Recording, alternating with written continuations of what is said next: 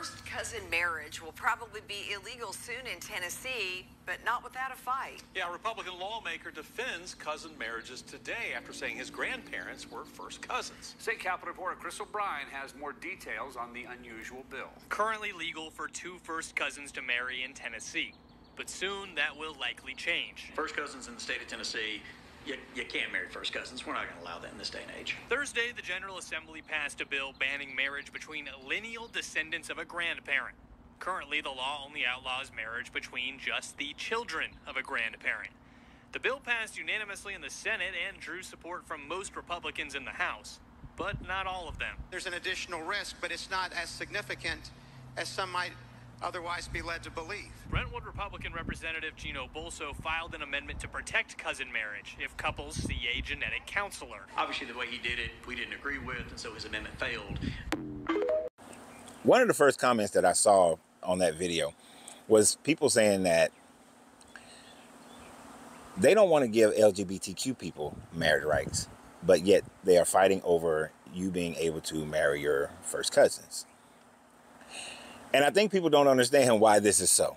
Know, first of all, let me just say it's sick. To me, marrying your first cousin is disgusting. I love my two first cousins, uh, Chanel and Sandra, but they're, ugh. that is just nasty.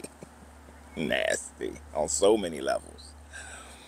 But anyway, the reason why Republicans will fight for this is because their Bible does not outlaw the marriage between first cousins.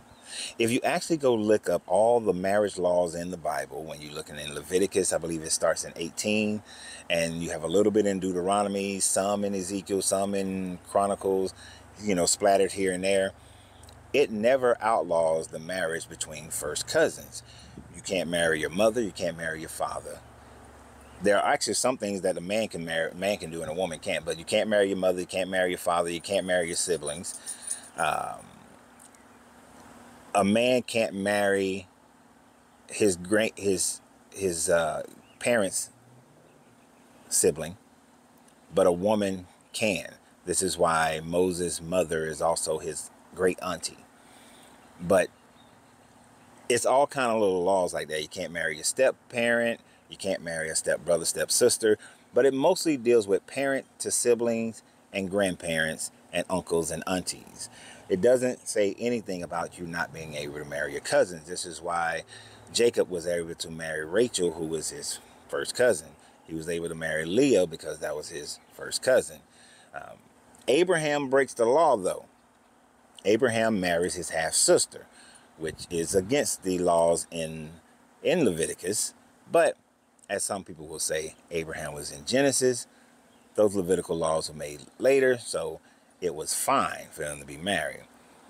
But that's how the Bible goes. The Bible is very concerned about keeping the bloodlines and incest, which is something that is up that was common in many of many cultures around the world um, in those times, and even up into some of the recent recent times.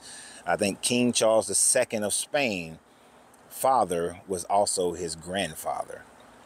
So you had that mentality that lasted for an incredibly long time. But the fact that in today's world, you have Republicans still fighting, they are fighting for marrying your first cousin, saying it's not that bad, that his grandparents were first cousins. That's probably why his mind is so warped like it is. That yes, there are some risks, but the risks are minimal.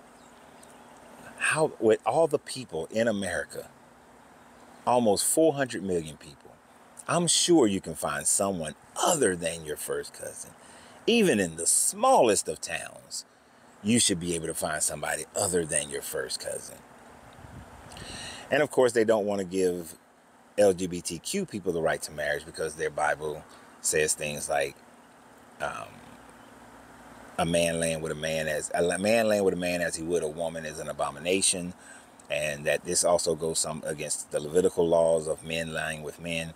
But you know, it never says anything about women lying with women, not to my recollection. If it is in there, please let me know. But in most cases, I don't think it says anything about women lying with other women. because they didn't really care much about the rights of women or to speak on women other than to dominate them constantly. But I just want to know what do you guys think? about Republicans fighting in Tennessee so that they can still marry their first cousins.